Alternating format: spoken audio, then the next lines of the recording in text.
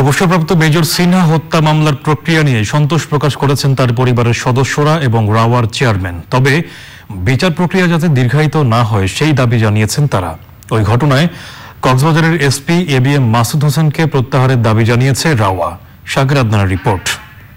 সেনাবাহিনীর অবসরপ্রাপ্ত মেজর সিনহা মোহাম্মদ রাশেদ খানকে হত্যার পর থেকেই সোচ্চার retired arm forces officers welfare association rava. সিনহার উত্তরার বাসায় সোমবার পরিবারের সদস্যদের সঙ্গে দেখা করতে যান রাওয়ার অবসরপ্রাপ্ত সেনা কর্মকর্তারা। সিনহার মা জানান, সিনহার হত্যার দিন একত্রিশে জুলাই মাঝরাতে টেকনাফ থানার ওসি প্রদীপ কুমার দাস তাকে ফোন করেন এবং পরদিন সকালে উত্তরা পশ্চিম থানা থেকে পুলিশ এসে ছেলের বিষয়ে বিস্তারিত জানতে চান। ওই হত্যার স্বচ্ছ বিচার দাবি করেন পরিবারের সদস্যরা। রাত বারোটা হবে আনুমানিক, সব আনুমানিক। যে আমাকে এক ভদ্রলোক ফোন করে বলতেছে যে যে সিনা আপনার কি হয়? বলে আমার ছেলে হয়। বলে, ও কি করে আপনি জানেন? আমি হ্যাঁ জানি, টুকটাক কাজ করে। আমি তো এটাকে টুকটাক করেই ধরে। আমার তো তার অত কিছু জানার দরকার না। টুকটাক কাজ করে ওখানে। আপনার কয় ছেলে মেয়ে? তারপরে, আর যখন এটা বলতেছে, তখন আমি আপনি কে আমাকে, তখন আমার মনে হয়েছে যে, এই ভদ্রলোক আমাকে এত রাতে এই কথা জিজ্ঞেস করছে আপনি কে? আমি একটু রুটভাবে বলছি, তখন উনি আবার বলতেছে যে হ্যাঁ আপনি আমার সঙ্গে এইভাবে কথা বলতেছেন কারণ আমি টেকনাফ থানার ওসি।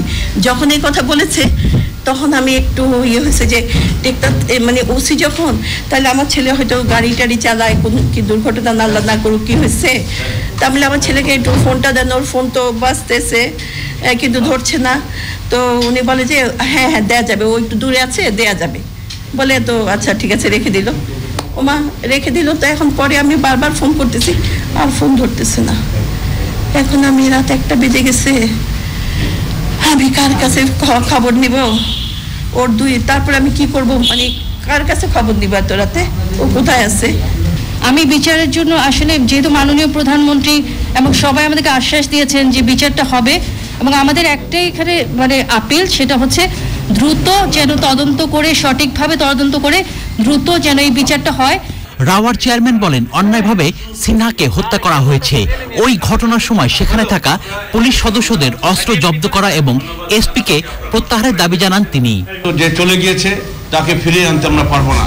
কিন্তু আমার বিশ্বাস, যদি তার এই হত্যার, অন্যায় হত্যার যদি বিচার হয়, এই জমিনে যদি বিচার হয়, তবে হয়তো সিনার মা কিছুটা হলেও শান্তি খুঁজে পাবেন তার আত্মার মধ্যে। সিনহা হত্যা মামলার তদন্ত, মনিটরিং করছে রাওয়ার, বিচার বিভাগীয় তদন্ত ও media cell. Shakir Adnan, Channel I, Dhaka.